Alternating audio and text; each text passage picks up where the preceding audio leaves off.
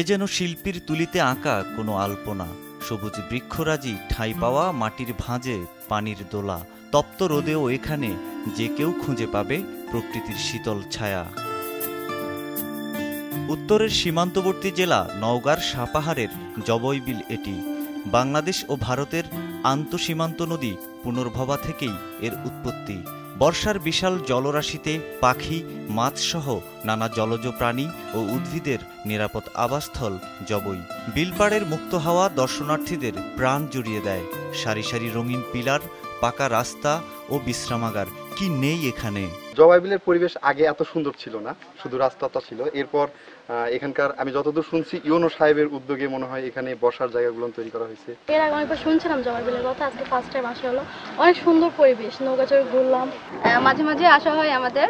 আর জায়গাটা অনেক ভালো মানে মেয়েদের জন্য অনেক সেলফ মানে ফুল সেফ অনেক পরিবেশ সুরক্ষিত রেখেই হয়েছে উন্নয়ন। সাপাহার উপজেলা প্রশাসন ঘিরে নাগরিকদের সুবিধায় করা হয়েছে টেনিস কোর্ট, ওয়াকওয়ে ও শিশুদের পার্ক। সাত মার্চ যে বলিষ্ঠ তর্জনীর ইশারায় গোটা দেশ স্বাধীনতার মন্ত্রে জেগে উঠেছিল জাতির পিতা বঙ্গবন্ধু শেখ মুজিবুর রহমানের, সেই স্মৃতি ধরে রাখা হয়েছে প্রশাসন ভবন সংলগ্ন জয় বাংলা চত্বরে। উপজেলা পরিষদ থেকে বের হলেই রাস্তার বাস ঘিরে আমচত্বর সাপাহারের আমরুপালি দেশ বিদেশে বেশ সুনাম কুড়িয়েছে। তাই ধানের চেয়ে এখন আমে বেশি মনোযোগ এখানকার চাষিদের। এই আম চত্বরটি কিন্তু আমের সুখ্যাতি সরিয়ে দেওয়ার জন্যই কিন্তু সাপার উপজেলা নির্বাহী অফিসার মহোদয় কিন্তু এটি নির্মাণ করেছেন। এখানে কিন্তু সকাল বিকালে অনেক দর্শনার্থী আস- আসতেছেন। না কোনো আলাদিনের প্রদীপ হাতে পায়নি উপজেলা প্রশাসন। সুষ্ঠু পরিকল্পনায় উপজেলার নান্দনিকতা বাড়িয়েছেন তারা।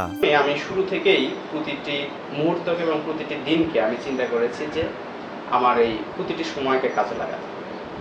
এবং সেই কারণেই আমরা চেষ্টা করেছি নতুন নতুন কোনো কিছু চিন্তা করতে এবং নতুন করে একটা উপজেলা কতটা কাজ করা যায় সেই চিন্তাটা করেছি। এবং এই কাজগুলো করতে যে স্থানীয়ভাবে একটা পরিবেশের খুব বড় গুরুত্ব রয়েছে, যে লোকাল এনভায়রনমেন্ট যদি আপনার অনুকূল না হয়, তাহলে এই কাজগুলো করা কঠিন।